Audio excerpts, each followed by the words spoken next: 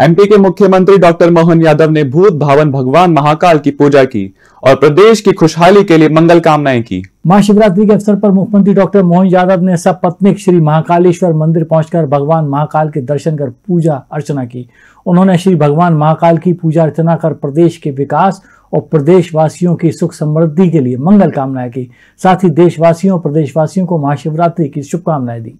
विक्रमादित्य काल से लेकर के राजा सूरसेन यादव तक और अभी परवर्ती काल में महाजी सिंधिया द्वारा निर्मित बाबा महाकाल के इस मंदिर में मैं आज अपने आप को कृतार्थ मानता हूँ। मुखिया होने के नाते से सास की पूजा यद्यपि दोपहर बारह बजे है, लेकिन मैंने संकल्प लेकर के पूजा करके हमारी जो परंपरा है, सास की व्यवस्थाओं का विधान करने का प्रयास किया है।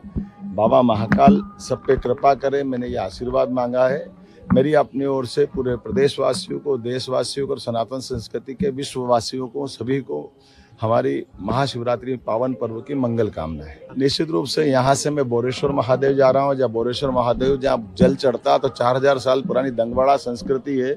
जहाँ जल चढ़ाओ भगवान शिव के ऊपर तो वो जल कहाँ जाता पता नहीं। गर्भगृह के अंदर चला जाता। पृथ्वी माता अपने आप में ले लेती है।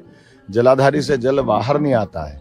ऐसे कई रहस्यपूर्ण हमारे देवस्थान है, देवालय है, जिनके रहस्यों से पुर्दा उठना है और उनका एक अलौकिक जो दृश्य होता है, उसका हम अपनी आँखों से सिंहावलोकन करते हैं। मैं अपनी ओर से पुनः आप सबको बधाई देता हूँ।